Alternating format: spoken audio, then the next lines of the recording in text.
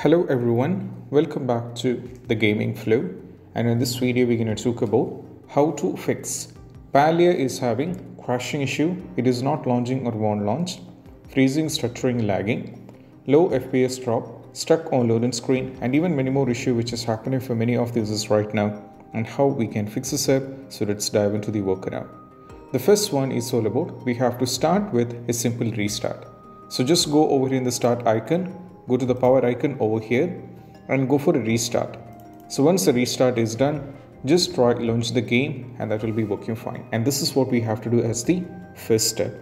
Next one is all about nothing but we have to try launch the game from the not from the Steam but from the installation folder. So most of us launch the game from Steam. So that is why in some cases we have the issue. So we need to launch the game from the installation folder we have two methods to navigate to the installation folder. When we have a shortcut from the Steam, right click on the game, go to the properties, install it file and just click on the browse. So that will take you to this particular folder. If you check at the top that this PC, local disk C, program for x86, Steam, Steam apps, common, Palia. Now from here we have to launch the game. So this is the application, we just need to launch the game and that is what we have to do. So just launch the game from here. That is what we have to do. So in most cases, when you launch the game from the installation folder, these kind of issues such as you know uh, crashing and all these things has to be fixed in most cases. So just launch the game. Next one is all about nothing but we have to launch the game from the installation folder. Apart from this, we have to run the game as an administrator and we have to run the game in the compatibility mode.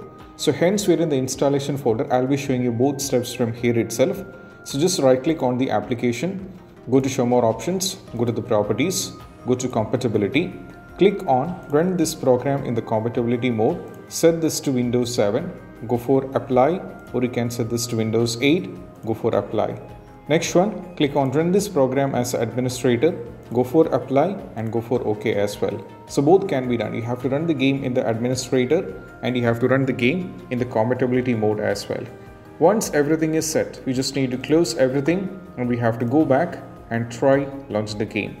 Next one is all about what we need to do is we just need to make sure that you have to uh, set the language, not the language, date, time and region. So just go over here in the search, navigate to settings, go over here in the time and language.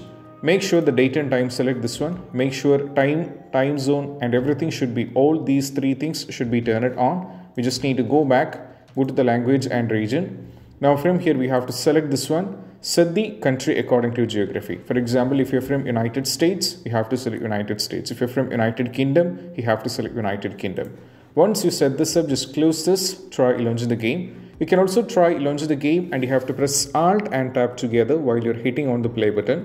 I don't know how this is related or it's not is it gonna work for you guys or not, but I found this from the Reddit. So this helped many users for most of the games, so you can try this out as well. Next one is all about nothing but we have to allow the game to Windows security. So just go over here in the search, search for control panel. Now we just need to click on this one. Now navigate to the system and security. Go for Windows Defender Firewall. Go for allow NAPOR feature through Windows Defender Firewall. Now from here we have to keep scrolling down and navigate to P that is Palia. Keep on scrolling down and navigate to Palia. And right now, as you can see, the Palia is already added. Make sure both the private and public both has to be marked or else we'll be having the trouble. So just mark it both the, both the private and public both has to be marked here. And once you set this up, just close this and we have to try launch the game. So allowing the game to Windows security helped many users. So that is why I'm recommending you. We can try this one as well.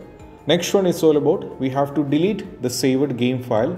So just go over here in the file explorer we have to navigate to documents and from here you can see there are a lot of folders.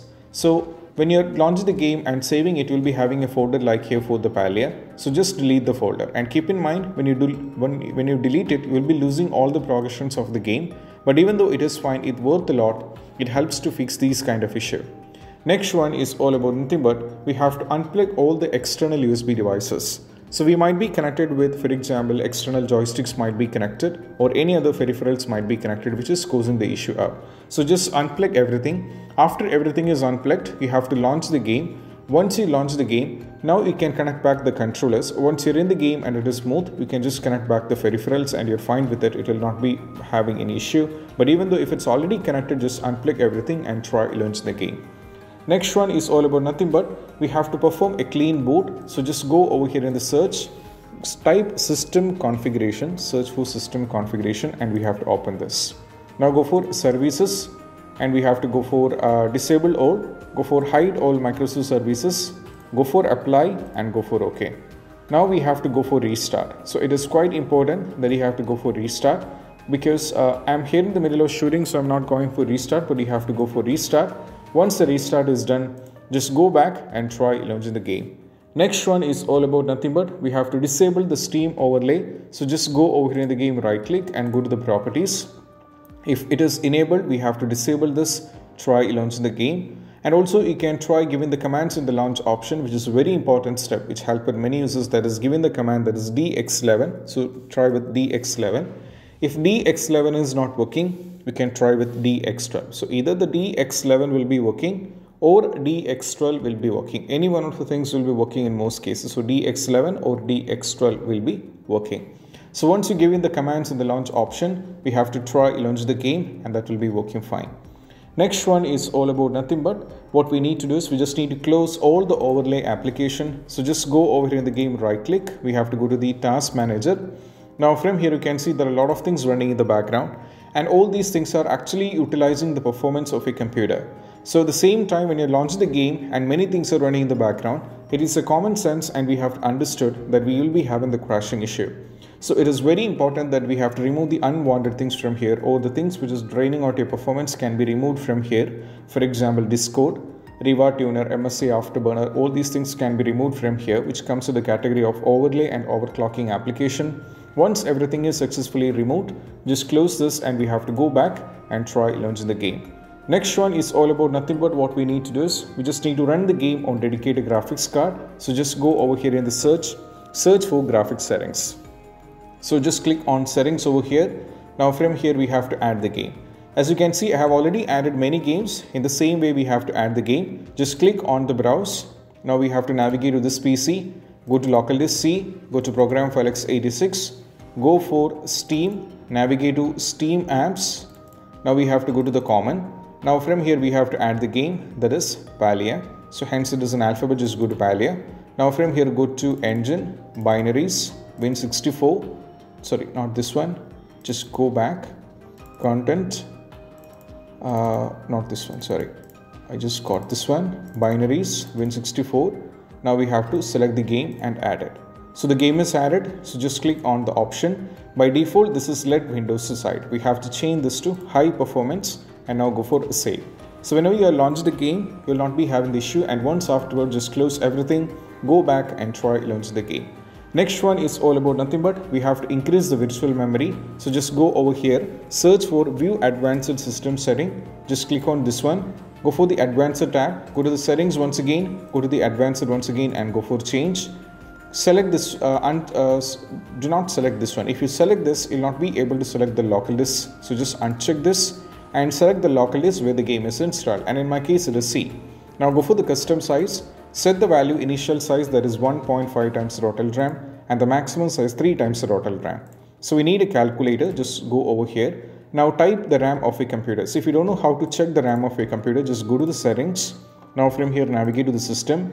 Now keep scrolling down and navigate to about. From here you will be able to understood that is installed RAM is 32 GB. So just close this. Type your RAM. 32 GB is the RAM and you have to multiply with a constant value 1024. Now multiply it with 1.5 that brings you 14 and 152 and we have to paste it. Next one the maximum size 32 GB multiplied with 1024 and we have to multiply it with 3 that is 98304 copy this value and we have to paste it. Once it is been set once every value has been set just close this and we have to go back and try launch the game. Next one is all about nothing but we have to update the graphics card. So I'll be providing a link in the description to both NVIDIA as well as to the AMD. The NVIDIA users has to go over here, select everything like the product type should be selected. Product series should be selected according to your PC's configuration. And you have to select which one is yours and you have to select the OS according to it. And go for start search. Now, when you go for the start search, what happens is the latest released versions of graphics card will be available here. So the 551.86, which is the driver version, which is released on 19th of March, which is few days back. You can this is the latest one. So just download this one, install restart is mandatory and try launching the game. If you're on the AMD, just go to the AMD over here and select every details and go for submit. Now from here, if you're on Windows 11, download this one and if you're on Windows 10, download this one, install a restart is a mandatory, try launch the game. And if you're on the latest version of, you can also try installing the Microsoft Visual C++. And if the system is based on x64, download this one. If the system is based on x86, download this one and install. A restart is a mandatory and try launching the game.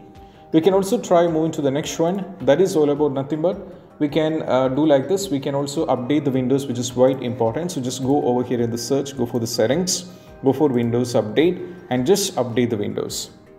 So updating the Windows which help with many users because for running these kind of games the Windows should be up to date. If you have any kind of these kind of cumulative update just update it and once afterwards just launch the game. Next one is all about nothing but we have to uninstall and reinstall the game because even this worker I know this sounds crazy because you have to install it back but even though it helped many users so just go to the game, right click over here and go to the manager and uninstall the game. For reinstalling it back, you have to keep in mind you should not be installing it back on local disk C because you have to try a new local disk. That is what you have to do. And the last and the least step is all about we have to verify integrity of game file which will cross check whether if any files are corrupted or not which will be helping guys out. So just go over here in the game right click and go to the properties go for installed file and just click on the verify integrity of game file. So this will cross check every single files of a game and if any files are corrupted and if any files are missing and all these kind of issues will be fixed by this and this is what we have to do. So just wait this to reach 100 percentage.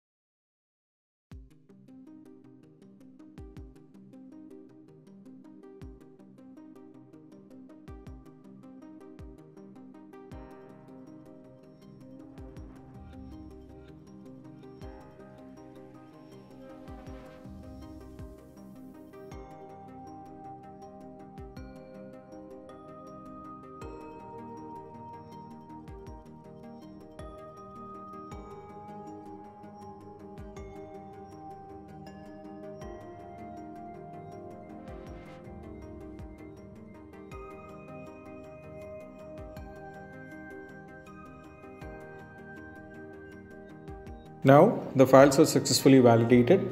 Just close this and try launch the game and that will be working fine. So these possible workarounds can be done. I hope this video is helpful and if you find this video helpful, don't forget to subscribe and click on the bell icon for more notification. See you soon in the next video. Peace out. Bye bye.